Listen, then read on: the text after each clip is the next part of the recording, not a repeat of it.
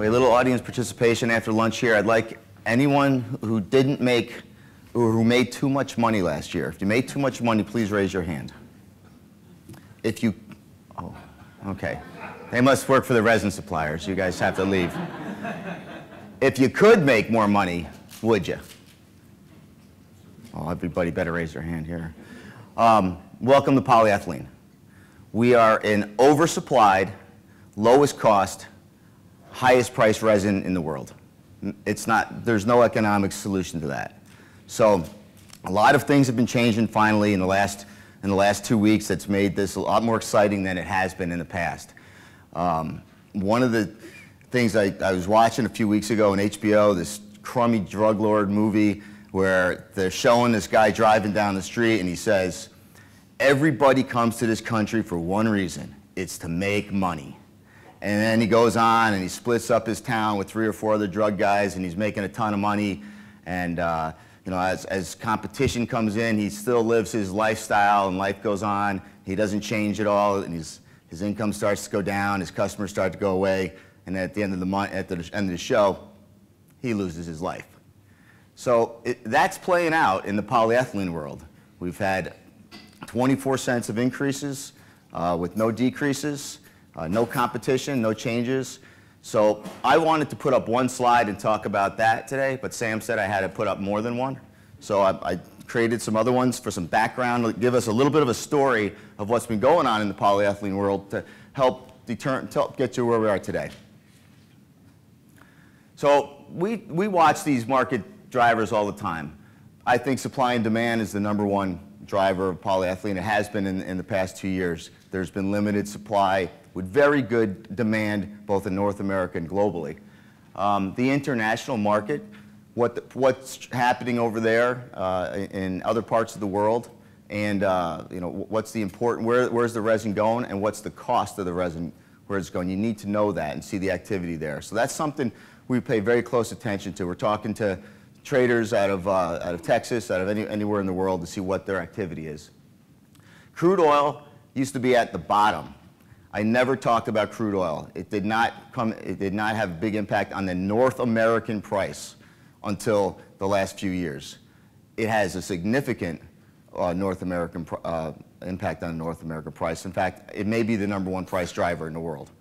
Um, secondary market, that's activity that's going on uh, in the broker market. Do they have resin? Where's their price going? Is it going up? Is it going down? Uh, what, what traders are moving re resin through there? It's good to watch that. It's a, probably one of the best indicators of where the market's going, either up or down. Supplier actions, who's raising prices, who's not raising prices, how strong are they when they sit in your office and when they raise prices, you know, what, how, how what the phone calls are, is, uh, is it, uh, you know, how many will you take, or do you want this one? Two different conversations. Pricing benchmarks, just knowing where the prices are globally. Just have to know where the prices are globally so you can follow trends. Um, operating rates and inventory. Um, you know, operating rates of polyethylene are 90 plus percent every month forever, even when plants are down. So I don't understand how 95% operating rates are always present when we have plants that are down. So that's something that is difficult to, to really follow. Natural gas, uh, and that goes with the ethylene and ethane. Um, ethane is a byproduct of natural gas. I'll go through a little cost model as we get through here, but ethane is made from uh, natural gas.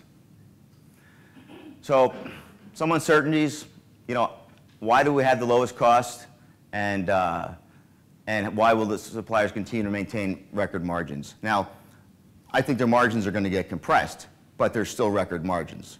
You know, going from 40 cents to 30 cents a pound when 10 years ago, 15 years ago, it was 2 or 3 cents a pound. Very healthy. And tried to talk about what's going on, what, what our outlook is going forward.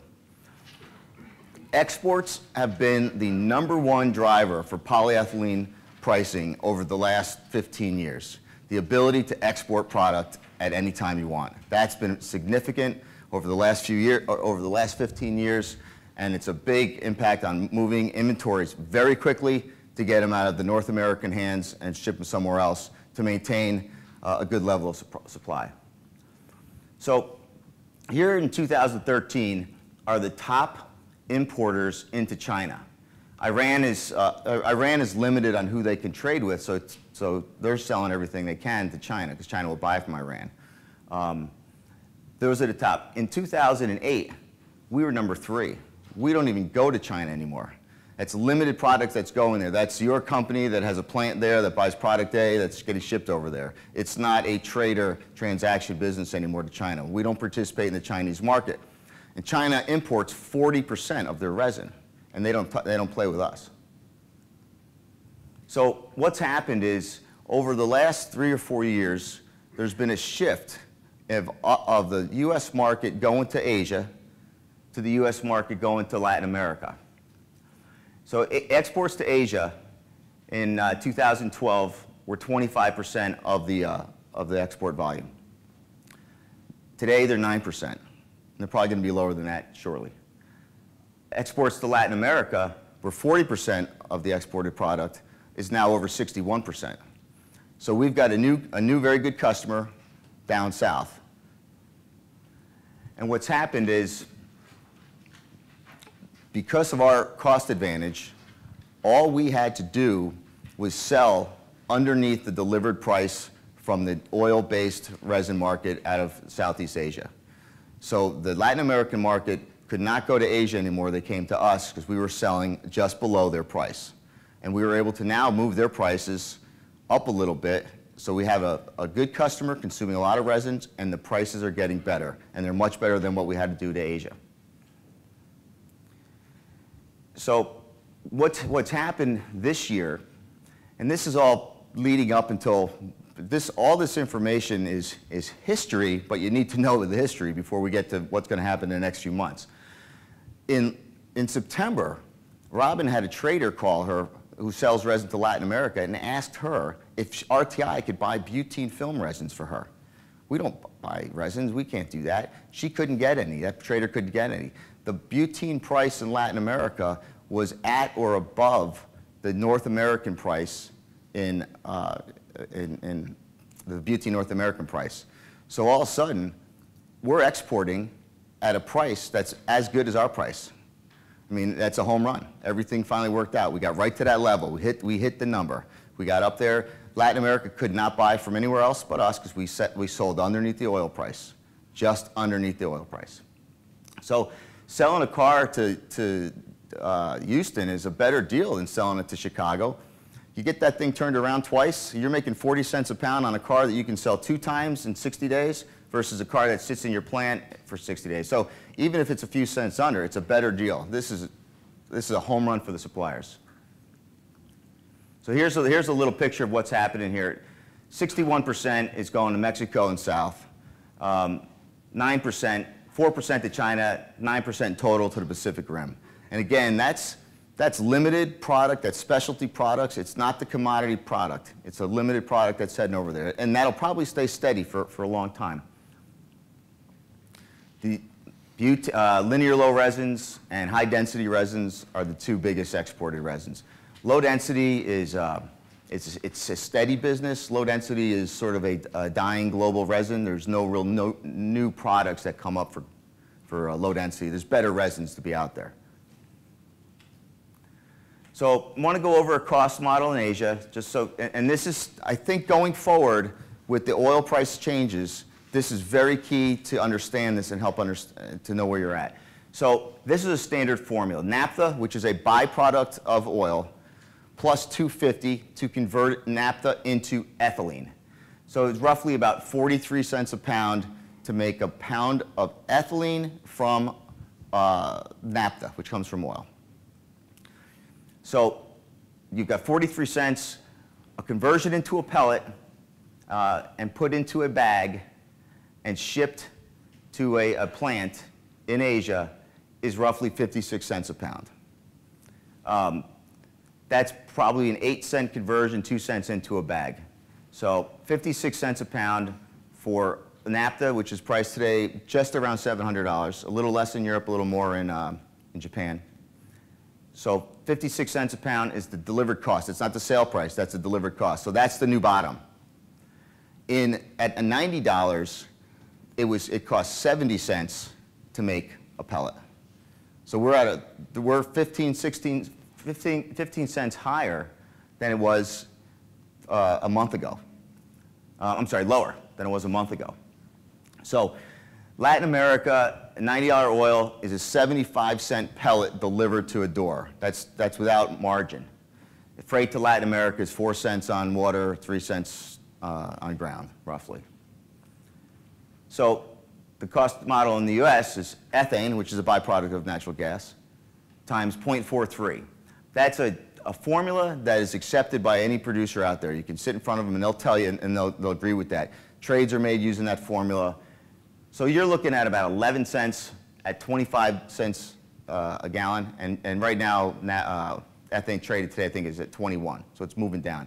Ethane, ethane will track with natural gas pretty much, you know, not dollar for dollar, but it tracks with natural gas. So your cost to convert in the States or North America is 12 cents conversion, let's call it 3 to 5 cents freight.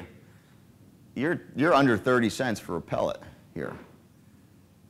And, and resin pricing today is significantly higher than that.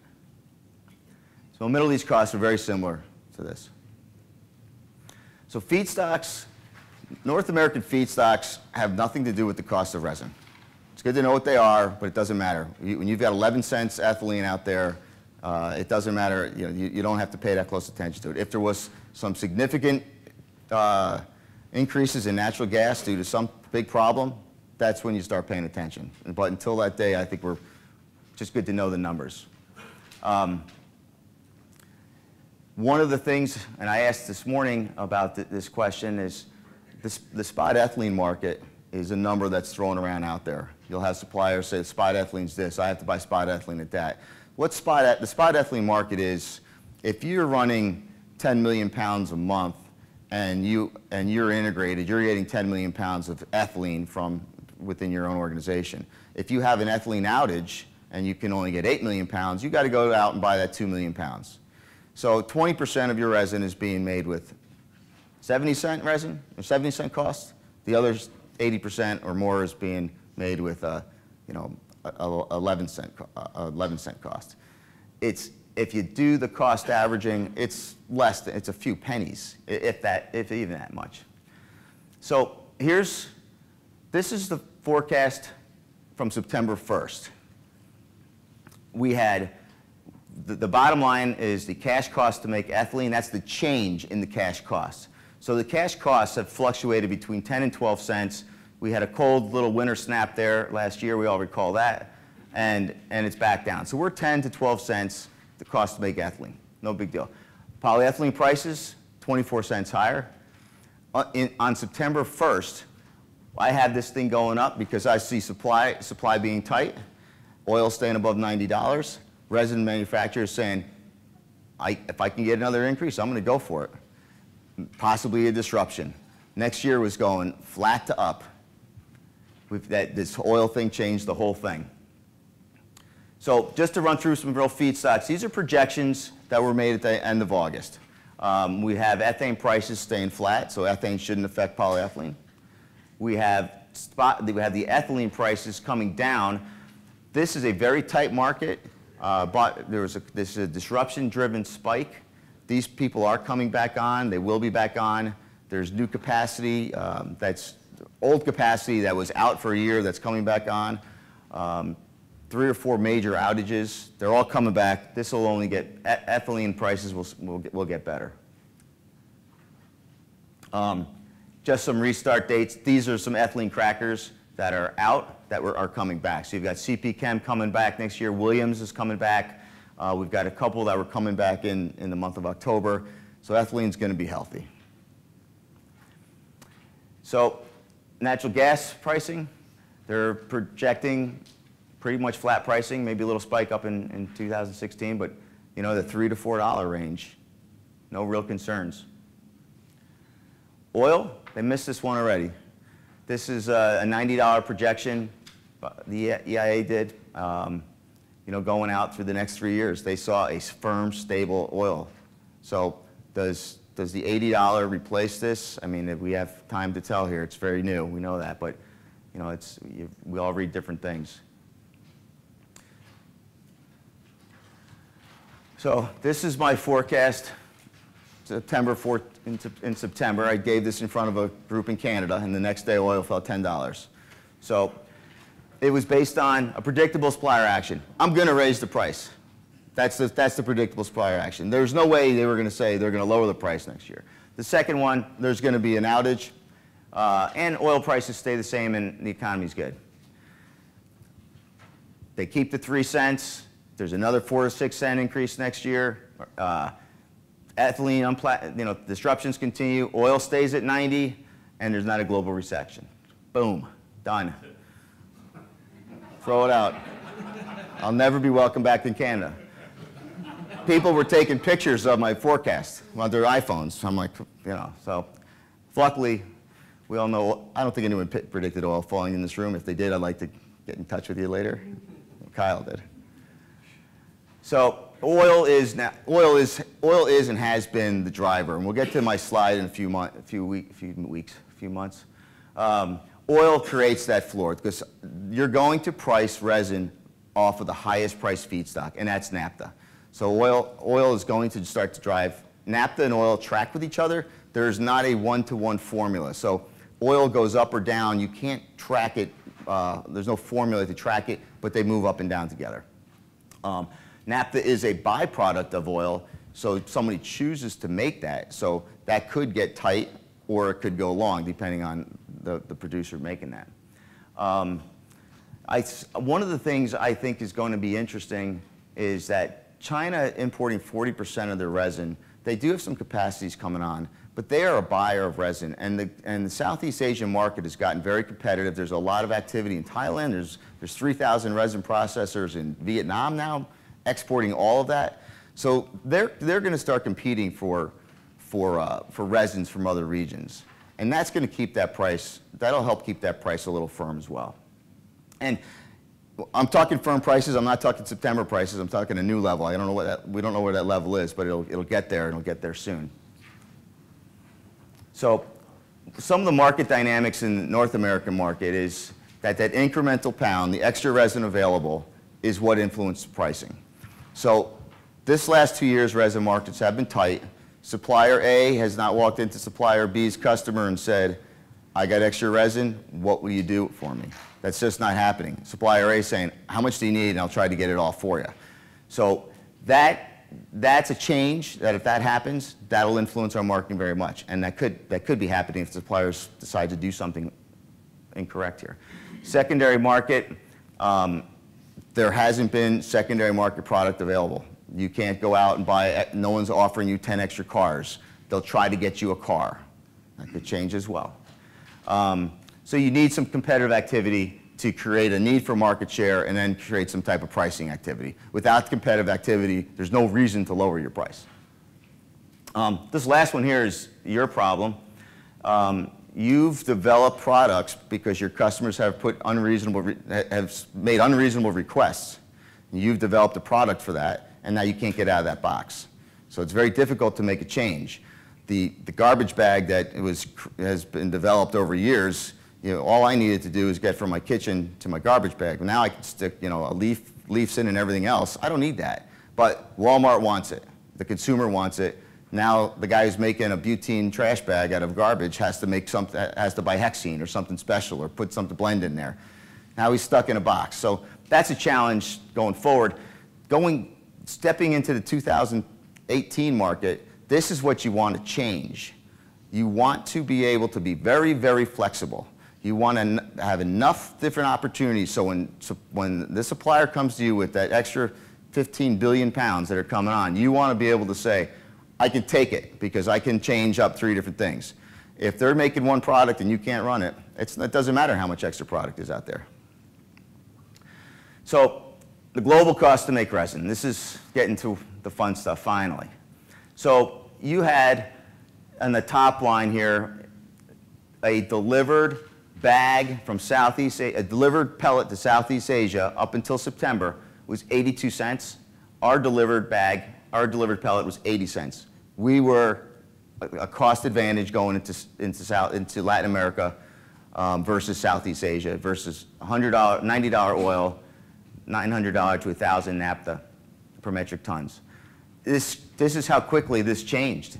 From 9.15 to 10, 10.15, you're down to now it's, uh, it costs 70 cents to deliver a pellet into Asia, and it costs, now that's, no mar that's, that's minimal margins. That's not a selling price, that's a delivered price.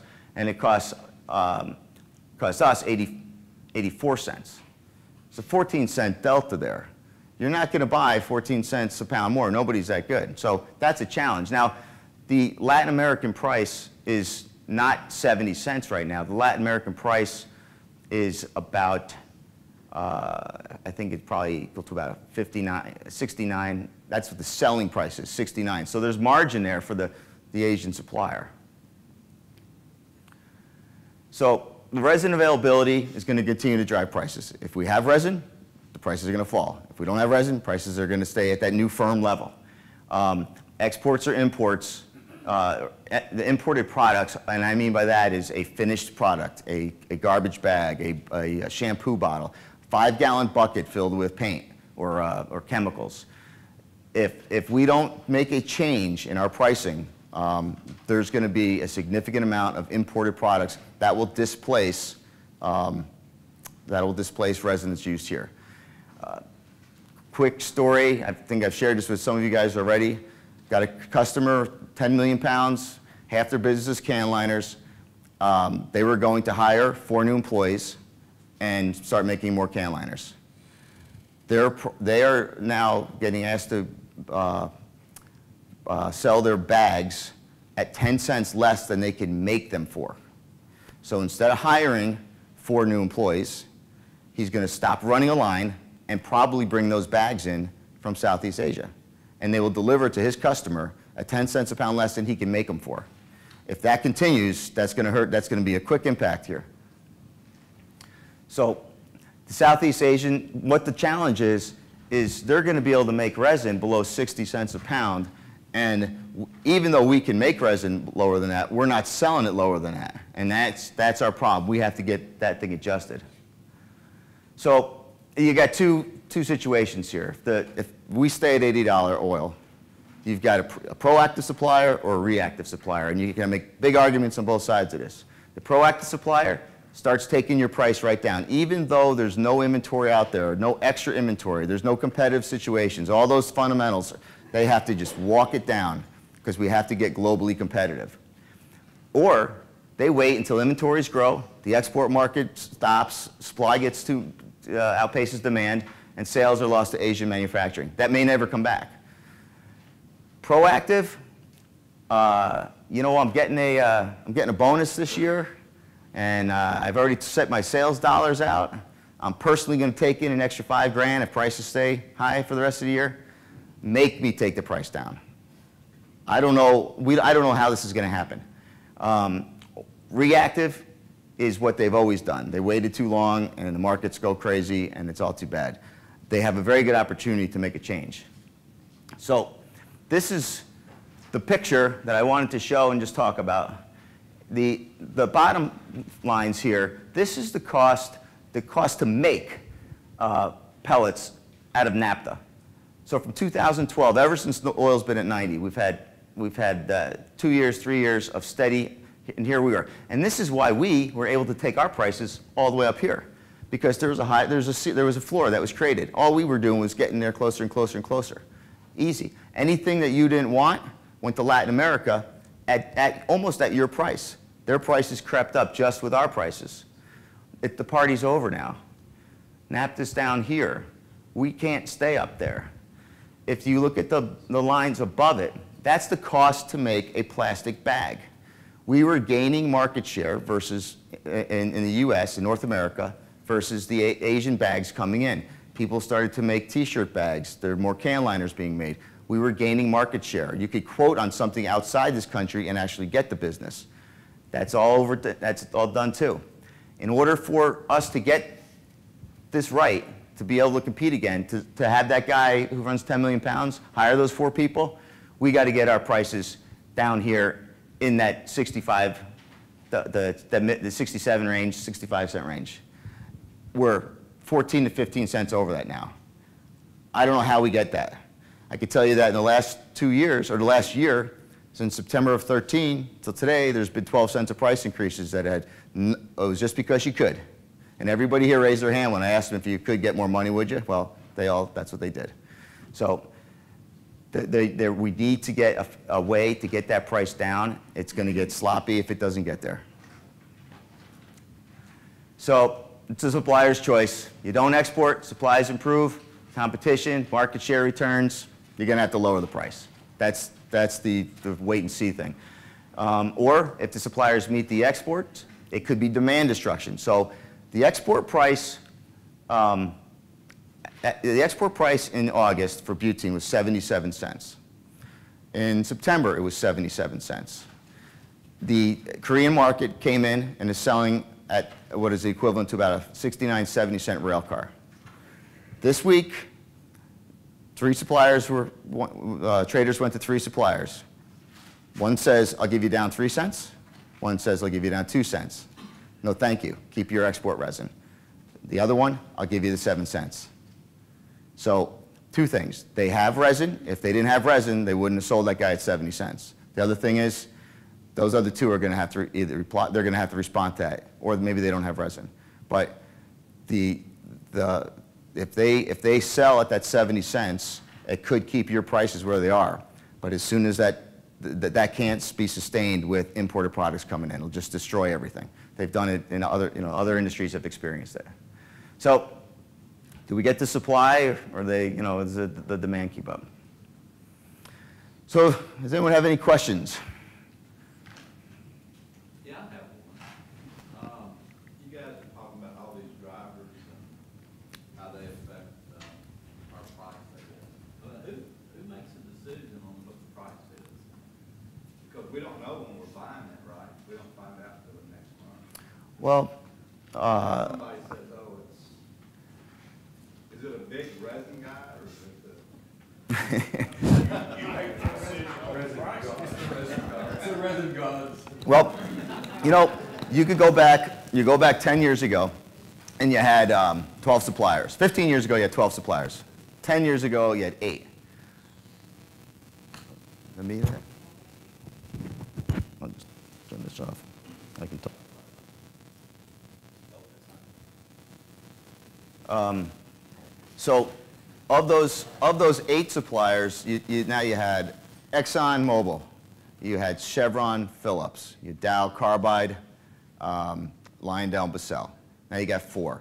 You have Westlake, you have Total, you have Formosa, um, Ineos. Those last four I just mentioned, they can't do anything because they don't make every resin. They, Total doesn't make any low density. Um, you know, Ineos doesn't do low densities, Westlake doesn't do high density, but those other four, they got, they do everything. So they can influence the market up and down. Now, Chevron Phillips doesn't have any resin, so they, and they've been very responsible, but, but not a leader. And you've had, the competition at the top has really been, um, I, I think it's Nova and um, Dow and um, ExxonMobil. Dow can't stop sending out price increase letters, and nobody pays attention to them anymore. Um, Exxon ignored two price increase letters uh, in, in last spring and the fall, and, and, the- and the price increases didn't go through. Exxon led the one in, uh, or Exxon came out in August. I think Exxon, unfortunately, you've got, of those four, you've turned this market into a one, a one supplier guy. Now, you've, someone's got to make that call going into, you know, who, who determines this price in November and December of whether or not it's going to go down or not. You had Nova Chemical, Nova was very hesitant to raise that pricing, that price. I think they were pushed into raising the price in August. They may be the first ones to do that. If they do that, you're going to have to have Exxon maybe support that. It's going to come down. I think everyone recognizes that. It's just how they do this thing. But eh, watching what Exxon does, it'll be very important. Now, Exxon did not lower the, the, the we're one of the suppliers that did not meet the 70 cent export. So, um, you know, maybe they don't have enough resin yet. But if, so, if, the, if there's a, a resin price god, that may be, they may be the ones, unfortunately. Yeah, Andy? Mike, is there an export market out of Western Canada like there is on Houston or Gulf of the Gulf area? You know, there's product, yeah, there's product that goes out there. Um, I know Dow does their high density out of there, uh, from Dow to Dow. Um, but the traders that we're talking to are typically out of Texas. I don't know, if that's, I mean, that's where the, that's where the supply base started years ago, so. All right, fracking and global capacity increases, how is that gonna impact twenty fifteen? um, okay, Sam loves it when I say this. It doesn't matter, it's all the oil. I'm an oil guy. That oil price is gonna get, is gonna set that ceiling. So. No capacity coming on in Mexico next year. Um, we have no capacity. com- There's, isn't uh, Braskem got like five? Five, on in twenty fifteen. right. Um, I, you know, it's, uh, I think you and I did this math once. Um, there's, how much goes to, there's 8 billion pounds a year goes to, uh, goes to export out of a 40 billion pound market. And then you've got, uh, say, uh, 60, per- 60% of that 8 billion is maybe call it 5, 5 billion going to Latin America. And that was a 500 million pound, I think they're one point two. 1.2? Okay, so, so yeah, you're gonna have, you're gonna have that. Uh, can they find another home? They, they can because we can sell it cheaper. I don't know if that'll have an impact. The other thing too is um, the Latin American, I'm not taking any, I don't take this into account, but I, you, you really should. Latin American economies are, are the ones that are growing the fastest in the world right now. So is there the demand strong enough? Probably. But- All righty. Any other?